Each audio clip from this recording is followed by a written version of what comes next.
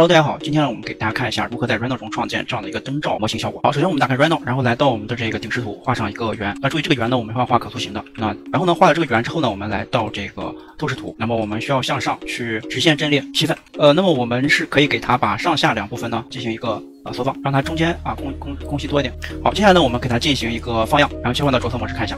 好，来到这样的状态之后呢，我们把这个线呢隐藏起来，然后呢，我们给这个呃圆柱呢进行分段啊，我分上一个二十五段。好，那么我们只需要取其中的一段即可，用结构线分割，并且缩回。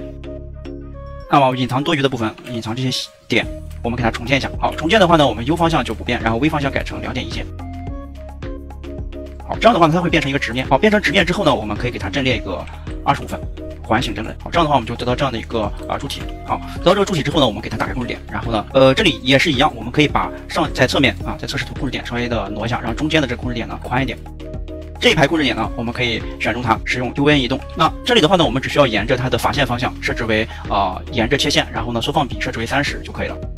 我们给它呃往它的法线方向进行偏移。那接下来呢，我们可以在侧面给它进行一个倾斜。那倾斜的时候呢，我们可以把这圈点向下移动，再进行倾斜。那此时此刻呢，我们这个造型就有了啊。当然呢，我们也可以给它进行一些呃，在它的侧面进行一些倾斜。好，下面我们倾斜一个三十度，那么这里呢也倾斜三十度。那么下面的这些控制点，我们都可以进行一个啊缩放移动。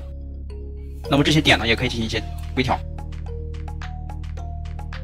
好，做完这些呢，我们给它进行一个偏移，好，偏移一个实体，松弛宣示，这个效果就有了。好了，那么你学会了吗？我们下期再见，拜拜。